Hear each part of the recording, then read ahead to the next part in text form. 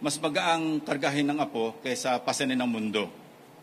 Mas maginhawa na humilata sa kama kaysa bumangon ng maaga at pumasok sa opisina. Mas masarap manood ng Netflix kaysa magbusisi ng national budget.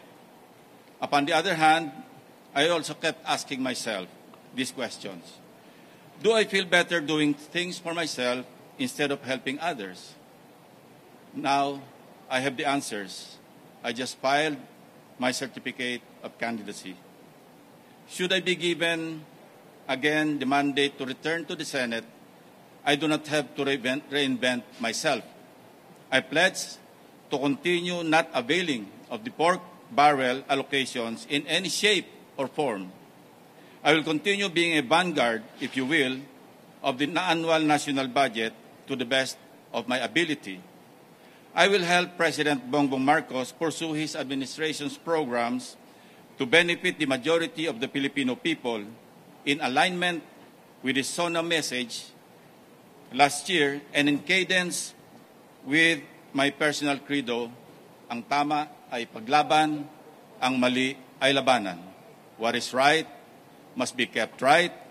What is wrong must be set right. Thank you. Tulad ng sinabi ko sa aking opening statement, ano, na uh, yung I do not have to have to reinvent myself kasi yung dati kong ginagawa sa Senado and I think si President Bongbong Marcos recognizes my fiscalizing role. Basta ito'y in alignment tulad na naturan ko with his uh, SONA message last year and in cadence with my personal credo. Yung sinabi ko kaninang what is right must be kept right. Magkakasundo kami doon. At noong ako'y napili na ma-include, I know for a fact that the President recognizes uh, my possible role uh, uh, while serving in the Senate. At uh, ako nagpapasalamat ako, gusto ko lang isingit ano, kay uh, Senate President uh, Tito Soto kasi siya talaga yung very patiently na uh, nag-influence sa akin. Kasi sabi ko nga kanina, nag-enjoy na ako sa retirement.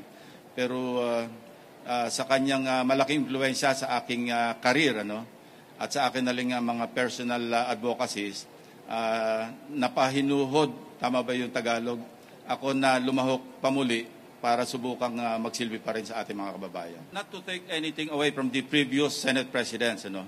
Alam niyo, nung nanungkulan bilang Senate President si Tito Soto, malaki yung improvement sa decorum. Pati yung, di ba kung natatandaan ninyo, sabay-sabay kami pumapasok sa session hall. Hindi yung parang hinalong palengke.